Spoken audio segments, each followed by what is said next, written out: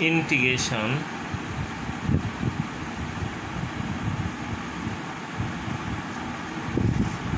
Integration. Integration e to the power x into e to the power x square dx. Integration x into e to the power x square dx. At first let x square equal to z differentiation both sides with respect to x that means 2x dx equal to dz x dx equal to dz by 2 now put here the value of this equal to 1 by 2 dz and it will be it will be z dz okay now integration e to the power z means e to the power z plus c c integration integration constant. Now putting the value of z putting the value of z.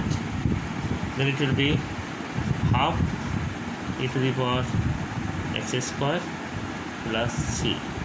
This is the answer now one formula. Integration e to the power x dx means e to the power x plus c. This will be remember it. Now that means integration x into e to the power x square dx. At first you remember which part you let then it will comes another part. If you let x square equal to z then differentiation with respect to both side uh, x with respect to both side with respect to x. Differentiation of both side with respect to x then dx of x square means power will become first and power decrease by 1 that means 2 x x dx equal to dz. Then x dx equal to dz by 2 now put the value of z. That means 1 by 2 it will be e to the power z. Dz half. Integration e to the power z means e to the power z plus c. But c is the integration constant.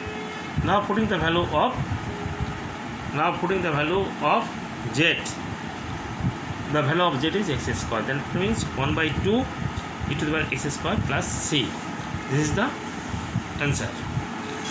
When you write the value of uh, when you apply the formula you must you must put the you must uh, uh, write the any on any constant.